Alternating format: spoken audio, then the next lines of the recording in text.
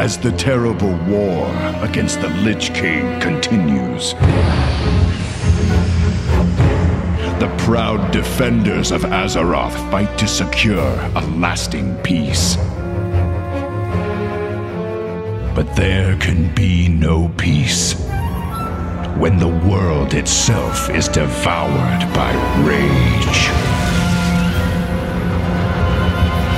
An ancient evil has risen, determined to shake Azeroth to its foundations. And the world will never be the same. As the elements battle for supremacy, Kalimdor and the Eastern Kingdoms have been transformed. Ancient lands have been torn asunder, unleashing widespread destruction. But newfound life has also awakened.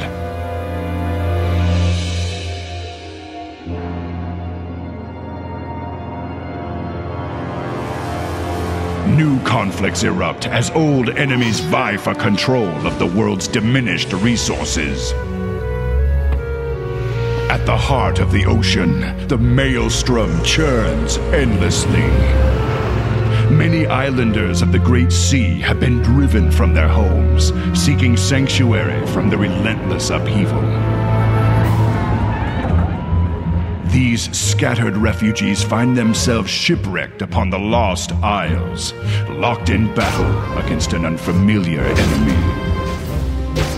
But in their hour of greatest need, the goblins of Kezan have found new allies in the Horde. As destruction engulfs the far corners of the world, the Greymane Wall, the fortified entrance to the human kingdom of Gilneas, has been shattered.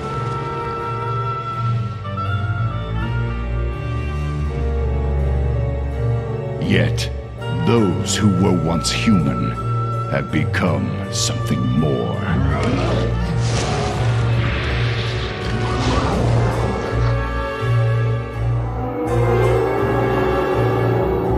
As the vile Forsaken march south into Gilneas, an ancient ally resurfaces to bring the savage Worgen into the Alliance.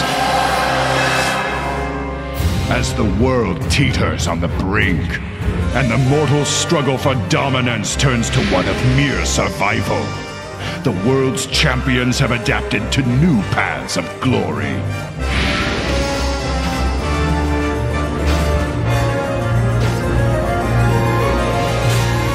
Standing vigilant against those who would devour civilization.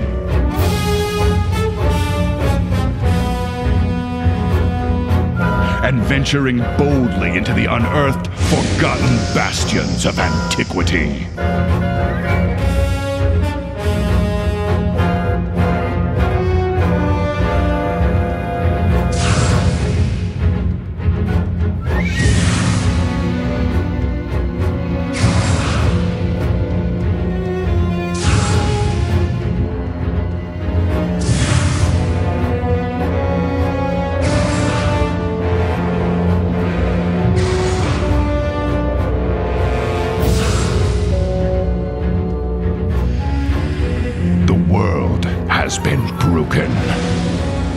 A new age has begun. The Alliance and Horde can only cling to hope. Deathwing has returned.